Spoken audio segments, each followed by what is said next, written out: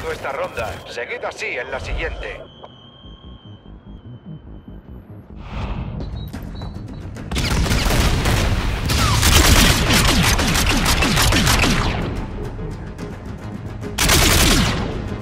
Descanso.